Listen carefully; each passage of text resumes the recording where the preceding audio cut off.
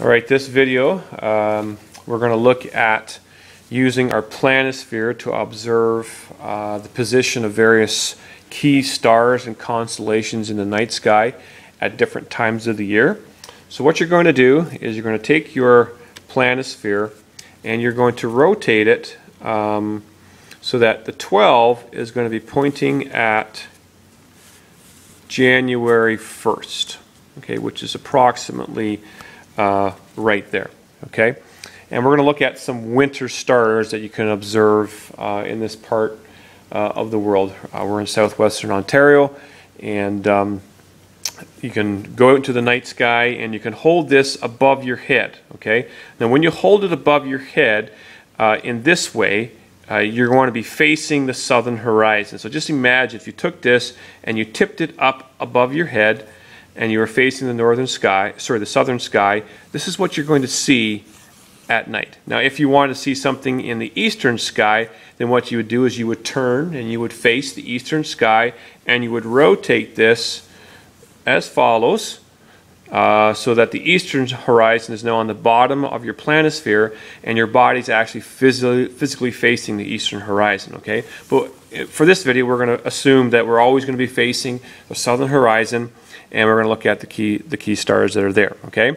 The first thing you're going to do is find Sirius okay? So in the night sky you're going to find Sirius near the bottom right here okay? It's this big star it's a big bright star. It's part of the Canis Major constellation okay? So take your um, pen or pencil and give that a number one and you know highlight Sirius uh, there okay? Uh, above and slightly to the right, you're going to find another uh, major star called um, called Capella. It's in the constellation Auriga. So you want to number that one number two and highlight it, highlight it blue. Uh, to the just to the right uh, of Canis Major, closer to the western horizon, you're going to find the constellation Orion. Uh, and you can see here kind of a bow uh, shape there. Uh, Orion is a is a hunter, um, and there are two major stars in Orion that Orion that we're going to point out here. The third one is called Rigel, right there, and you want to give that one a number three and highlight it.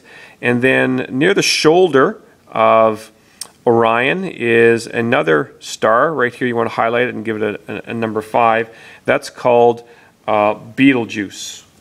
Betelgeuse. Okay a little bit difficult to see on the on the video here. Okay, but if you follow along with your own uh, star chart, you should be okay. Okay, now up uh, up to the top and right of uh, Betelgeuse, uh, or you know find find the bow, and just above the bow of Orion, you're going to find uh, Taurus. Okay, uh, there's the the horns of Taurus. And one of the major um, stars that are in Taurus, a very bright star, is uh, Aldebaran. Aldebaran. So you want to call that one number six and write in Aldebaran after you've highlighted that particular star. So that's another major winter star. Okay, there's a whole bunch of them, of course, in the night sky, but we're just going to look at some of them. Okay.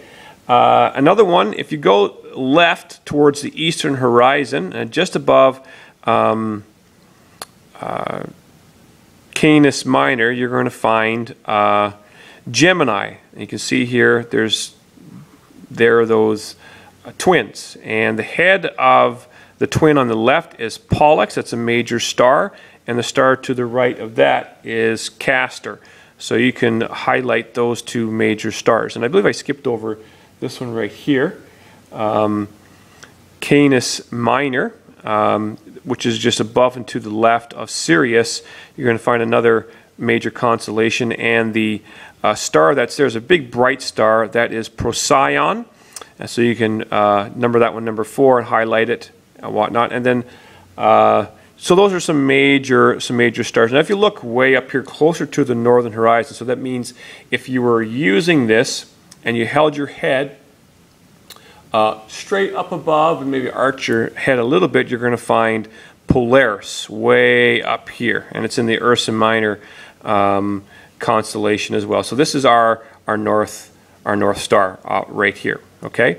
Now what I want you to do is you're going to rotate now your um, planisphere to find some summer stars. So we're going to rotate it as follows, like this. And you can see here, as we rotate it, notice the stars right here. What direction are they going? They're going from east to west. And you want to keep rotating it until we hit, oh, we're going to hit probably, let's see here. You want to rotate till it gets to June, I don't know, middle of June, June 15th right there. And there's some summer stars uh, that we want to look at there. Um, there's not a whole bunch I want to point out, but there's a few, okay? So again, there's Polaris right there. That's our North Star. So below that, so again, we're facing the southern horizon. Um, so right here, we got some, some stars that we want to look at. So just uh, below, according to our, our map here, you've got uh, Ursa Major and Polar Polaris. And the star that you want to look at there, uh, number 11, is in the constellation Lyra. And this big, bright star that's there is called Vega. Um, so you want to highlight that one. Uh, to the top and left, closer toward the northern horizon, so further above your head, uh, you're going to find a constellation called Cygnus, and a bright star that's there is called Deneb. Uh, so you want to highlight that one. Towards the southern horizon, towards the area where you're facing, and to the little bit, little bit left, you're going to find a, uh, a constellation uh, that's called. Um, uh, let's see here, Aquila, and a major star that's there is called Altair. And so you can highlight that one. It's another bright star that you're going to see in the summer sky. And towards the bottom of the horizon, you know, the southern horizon, which was, which is, you know, the bottom of your planisphere here, you're going to find another major constellation called Scorpion, Scorpius.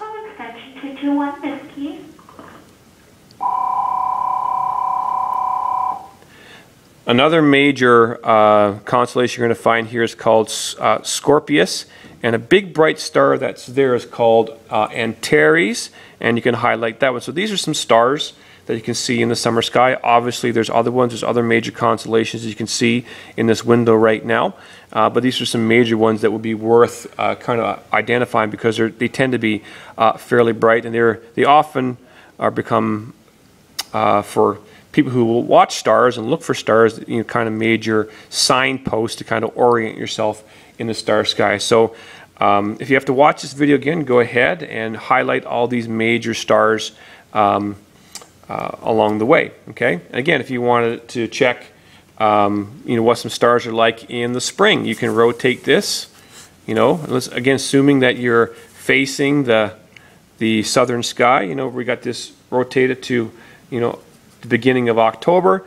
Now we can see some, uh, some other constellation patterns that are there and you can identify them as, as you orient yourself as you're looking above. Okay?